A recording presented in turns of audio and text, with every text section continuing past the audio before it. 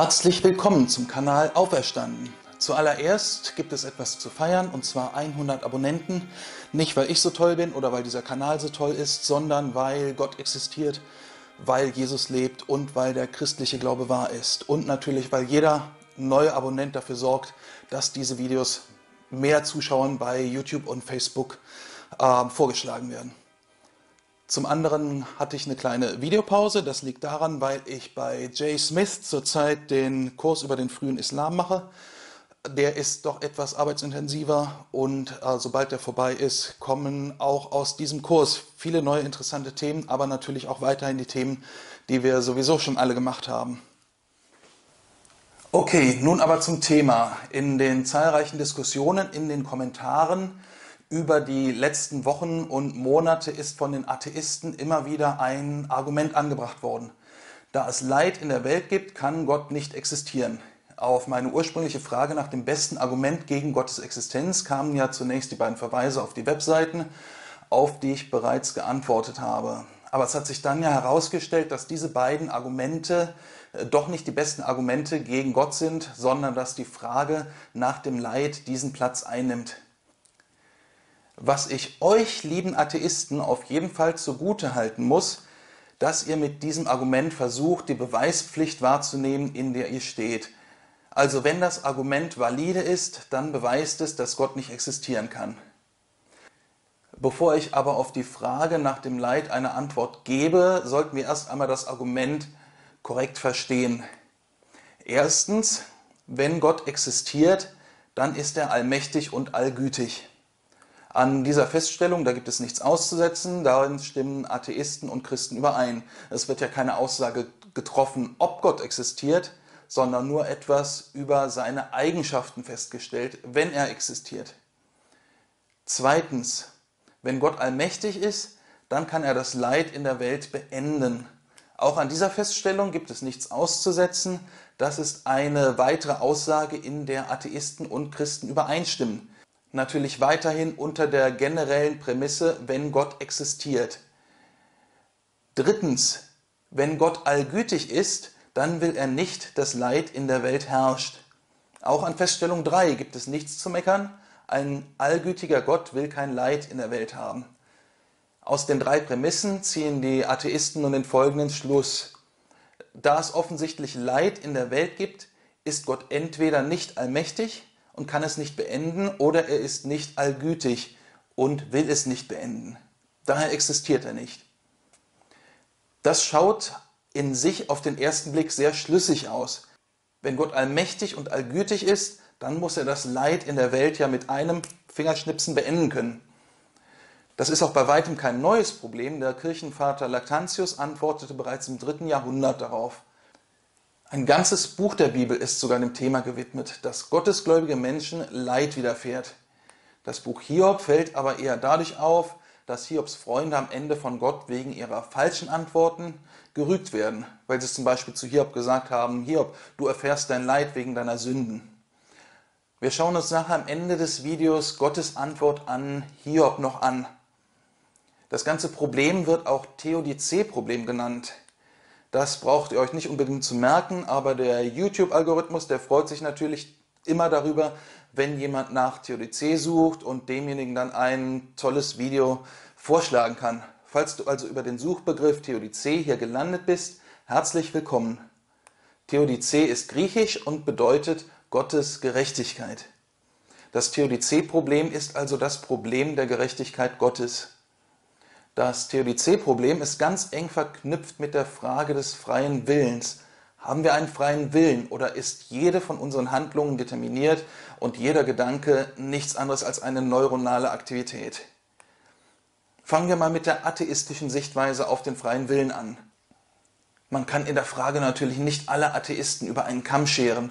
Viele Atheisten haben aber ein streng naturalistisches oder materialistisches Weltbild. Sie gehen davon aus, dass nichts Immaterielles existiert. Ein freier Wille wäre allerdings immateriell.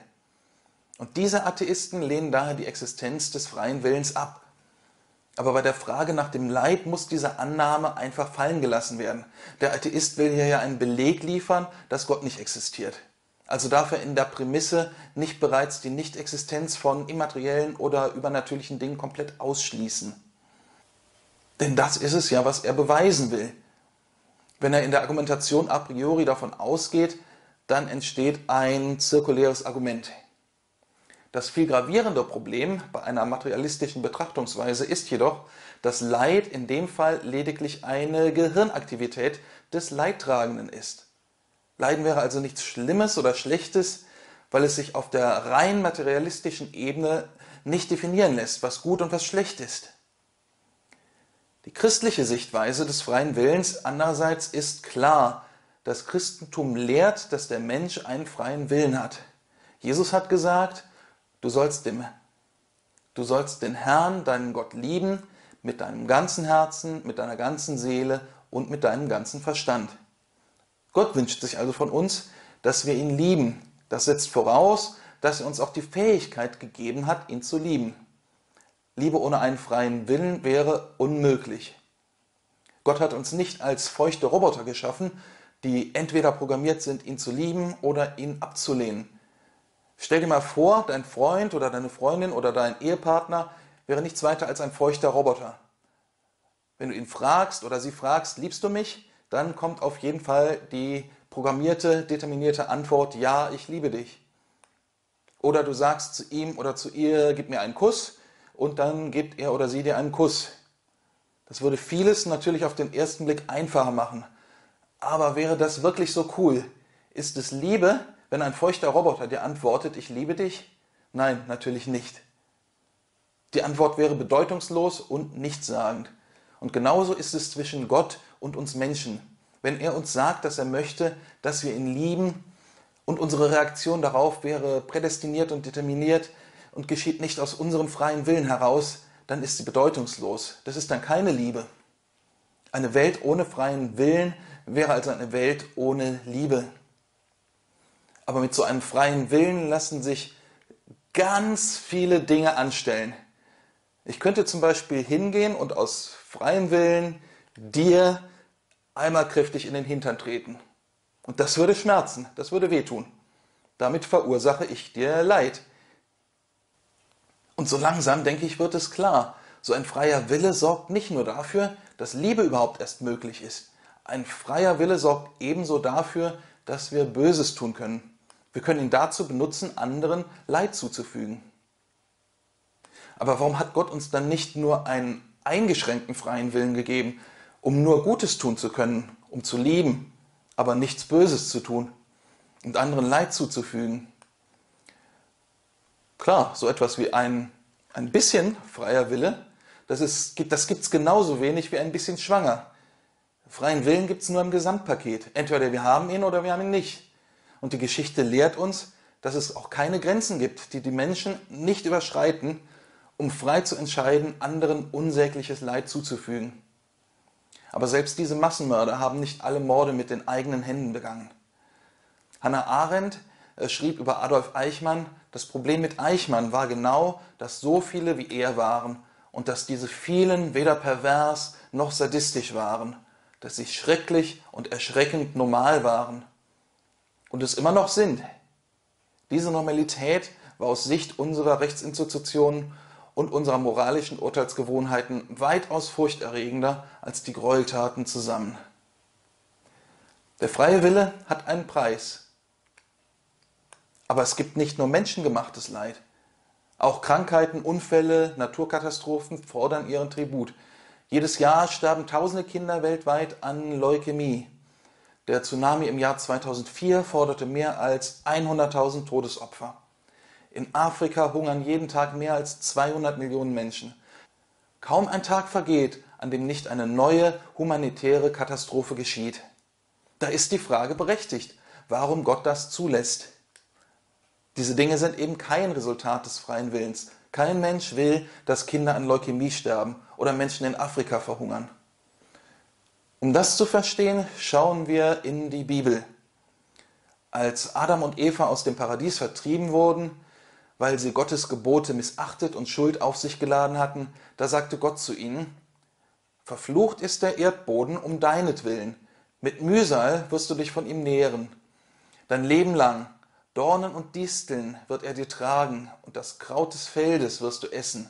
Im Schweiß deines Angesichts wirst du dein Brot essen, bis du zum Erdboden zurückkehrst. Denn von ihm bist du genommen, denn Staub bist du, und zum Staub kehrst du zurück. Wenn uns die ganzen Katastrophen und, und Krankheiten und Unglücke als etwas Falsches erscheinen, das eigentlich gar nicht in die Schöpfung hineingehört, dann liegt das daran, dass es alles ursprünglich nicht Teil der Schöpfung war. Das nicht durch Menschen verursachte Leid ist mit diesem Fluch in die Welt gekommen. Falls nun der Einwand kommt, dass es sich bei Adam und Eva und der Vertreibung aus dem Paradies nur um einen Mythos handelt, darauf werde ich in einem späteren Video nochmal eingehen.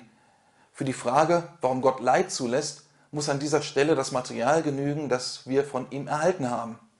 Sofern es denn in sich konsistent ist was ich hier in diesem Video euch zeige. Die Ursprünge des menschengemachten und nicht menschengemachten Leides sind soweit geklärt. Nun im zweiten Teil des Videos möchte ich darauf eingehen, warum Gott dieses ganze Leid heute und jetzt nicht verhindert oder beendet. Denn die Prämisse, die besteht ja weiterhin. Ein allgütiger Gott möchte nicht, dass Leid in unserer Welt herrscht. Aber die Schlussfolgerung der Atheisten ist falsch. Es folgt eben nicht, dass Gott untätig zusieht und es ihn daher nicht gibt. Es folgt stattdessen, dass Gott das Leid und das Böse ein für allemal besiegen und beenden wird. In der Bibel, in der Offenbarung heißt es, und abwischen wird er jede Träne von ihren Augen, und der Tod wird nicht mehr sein, und kein Leid, kein Geschrei und kein Mühsal wird mehr sein. Denn was zuerst war, ist vergangen. Aber warum hat Gott dann nicht direkt die Ewigkeit erschaffen, ohne dass wir hier im Diesseits vorher den ganzen Mist mitmachen müssen? Sehr gute Frage. Die kommt auch aus den Kommentaren und das zeigt, dass ihr mitdenkt. Schauen wir auch dazu in die Bibel. Wenn auch unser äußerer Mensch verbraucht wird, so wird doch unser innerer Mensch Tag für Tag erneuert. Denn die Last unserer jetzigen Bedrängnis wiegt leicht und bringt uns eine weit über jedes Maß hinausgehende unendliche Fülle an Herrlichkeit. Wenn wir nicht auf das Sichtbare schauen, sondern auf das Unsichtbare. Denn das Sichtbare gehört dem Augenblick, das Unsichtbare aber ist ewig. Was hier auf den ersten Blick wie eine Vertröstung auf das Jenseits ausschaut, hat eigentlich eine komplett andere Aussage.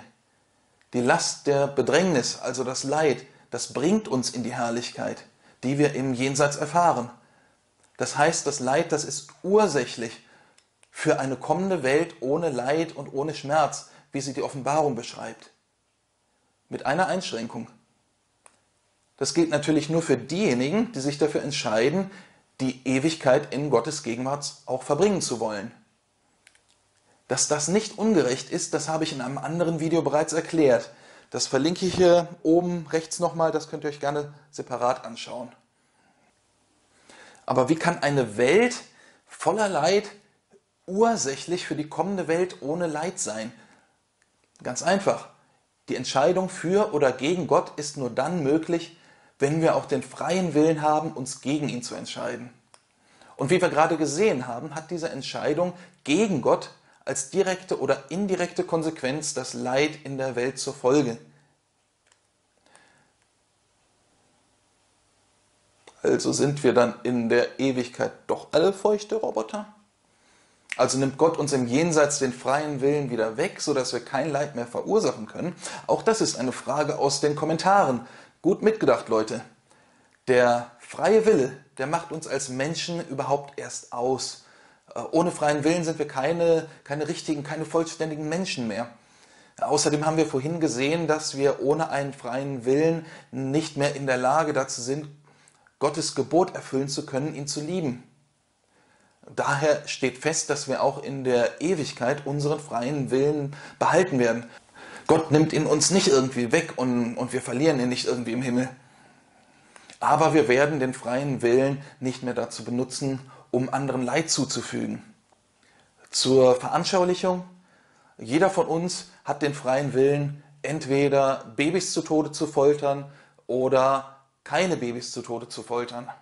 Und jeder von uns trifft die freie Entscheidung, dies einfach nicht zu tun, hoffe ich jedenfalls.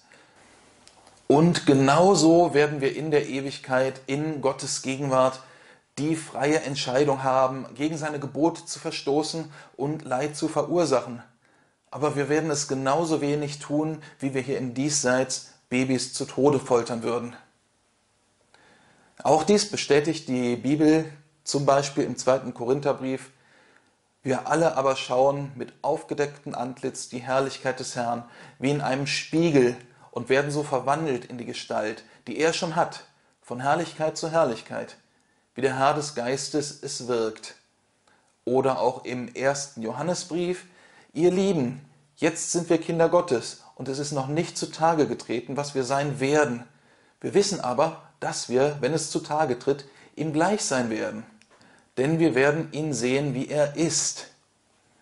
In den Kommentaren gab es auch immer wieder Fragen, hätte Gott die Menschen nicht weniger aggressiv schaffen können? Hätte Gott nicht hier oder da oder dies oder jenes Leid konkret verhindern können?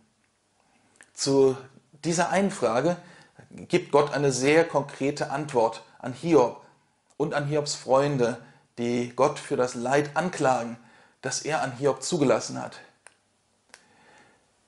Wer behauptet, mein Walten sei finster und redet ohne Einsicht, gürte deine Lenden wie ein Mann, dann will ich dich fragen, und du lehre mich. Wo warst du, als ich die Erde gegründet habe? Rede, wenn du es weißt. Wer hat ihre Maße bestimmt? Weißt du es? Und wer hat die Messschnur über sie gespannt? Und wer hat das Meer mit Toren verschlossen? als es hervorbrach aus dem Mutterschoß, haben sich die Tore des Todes aufgetan und hast du die Tore der Finsternis gesehen? Hast du ermessen, wie weit die Erde ist? Rede, wenn du das alles weißt. Wo ist der Weg zur Wohnung des Lichts? Und wo hat die Finsternis ihren Ort? Kannst du sie in ihr Gebiet begleiten und kennst du die Wege zu ihrem Haus? Du weißt es, du wurdest ja damals geboren und groß ist die Zahl deiner Tage. Will der Besserwisser mit Shaddai streiten? Wer Gott anklagen will, der antworte nun. Willst du wirklich mein Recht bestreiten, mich schuldig sprechen, damit du Recht bekommst? Auch Jesus sprach deutliche Worte, als er auf ein paar Galiläer angesprochen wurde, die von Pontius Pilatus hingerichtet wurden. Meint ihr, diese Galiläer wären größere Sünder gewesen als alle anderen Galiläer, weil ihnen dies widerfahren ist? Nein, sage ich euch. Aber wenn ihr nicht umkehrt, werdet ihr alle ebenso zugrunde gehen. Oder jene 18, auf die der Turm am Teich Shiloah stürzte und sie tötete. Meint ihr, sie seien schuldiger gewesen als alle anderen Bewohner Jerusalems? Nein, sage ich euch. Aber wenn ihr nicht umkehrt, werdet ihr alle ebenso zugrunde gehen. Besserwisser-Mentalität nützt also gar nichts, vor allem dann, wenn man meint, man hätte eine bessere Welt schaffen können als Gott. Die Antwort darauf ist ganz klar. Anstatt darüber zu lamentieren, wie du einen besseren Job als Gott gemacht hättest, wäre es wesentlich besser, zu ihm umzukehren. Vielen Dank fürs Zusehen und fürs Zuhören und bleibt gesegnet. Ich will schauen, dass ich die Kommentare möglichst beantworte, aber durch den Islamkurs ist meine Zeit ein bisschen eingeschränkt und seht mir daher bitte nach, wenn ich es nicht unbedingt alles mehr so schaffe wie noch im Dezember. Und auch durch die höhere Anzahl der Abonnenten ist mir schon aufgefallen, dass die Anzahl der Kommentare auch schon eigentlich auf ein Maß steigt, dass ich nicht mehr unbedingt alle beantworten kann. Apropos Abonnenten, durch, die, äh, durch das Erreichen der, der 100 Abonnenten haben wir jetzt auch die Möglichkeit, eine Kanal-URL zu erstellen. Das habe ich noch nicht gemacht, das werde ich noch machen und die dann hier unten für euch einblenden. Damit findet ihr den Kanal wesentlich einfacher und hoffentlich auch in den YouTube-Suchergebnissen. Wenn man da derzeit auferstanden eingibt, dann kommt noch die Nationalhymne der DDR an oberster Stelle. Also bleibt gesegnet, bis zum nächsten Mal.